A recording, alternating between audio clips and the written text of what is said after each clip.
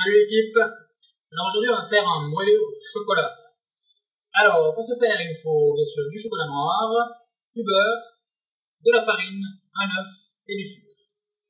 On va commencer par faire fondre notre chocolat avec notre beurre dans un bain-marie.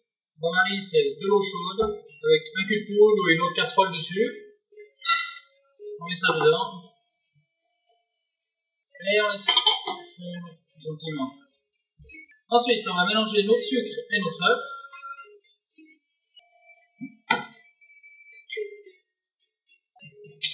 On fait blanchir un petit peu. Et on ajoute la farine. Alors, notre chocolat et notre beurre, il faut bien que soit fondu, que ce soit homogène. Alors, cette recette, pour qu'on puisse euh, l'utiliser au boulot, on va faire une cuisson au micro-ondes.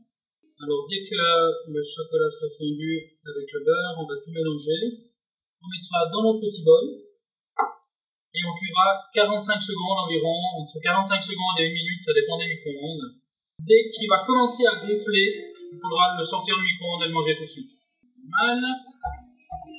on mélange notre chocolat avec œuf, farine et sucre.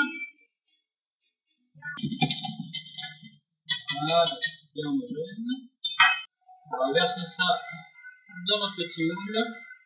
Bien sûr, si vous le prenez au travail, vous mettez prenez ça dans un petit tupperware ou un, petit bac euh, fermé pour que ça coule. Vous mettez au dernier moment dans votre, petit moule là. Voilà. Et puis ça, comme je dis avant, vous mettez 45 secondes dans le micro-ondes et après c'est tout bon. Merci, bon appétit